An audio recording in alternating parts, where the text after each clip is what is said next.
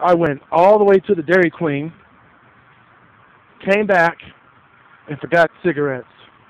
So I sat down and ate. We had a grilled chicken salad, really good. Um, too many carrots though. I didn't like all the carrots in there. You know, I don't eat salad with carrots, but I ate any, ate it anyway. I guess it's good for your eyesight, right? Isn't carrots good for eyesight? Something like that, right? Maybe my eyeball, my left eyeball would get better. Whoop, there we go. Anyway, I was uh, thinking about another idea. Uh, I guess this is a childhood memory of dreams memory vlog, or at least for today. Um, another idea I had as a child was driverless vehicles.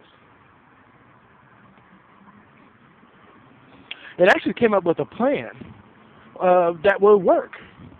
And basically, I thought it would be my company that's uh, subsidized by the United States government, and that my company will be the one that gathers data, weather information, frost information, you know, for, and we'll know every road where there's possible frost, you know, so that we can determine if it's going to be too slippery for fast travel and slow.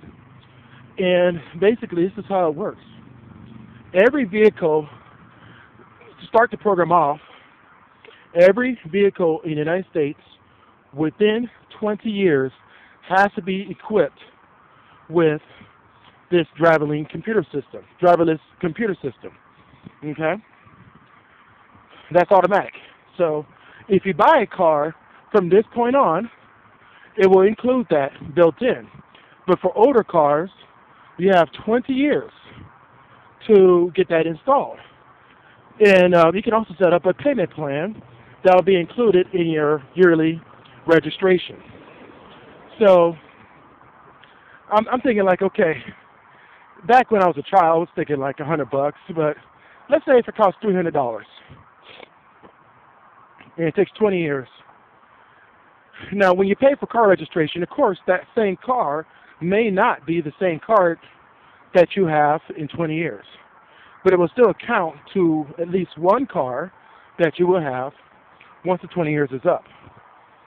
And that computer system, um, you pay like 20 dollars a year on top of your regular car registration, and that will pay it up.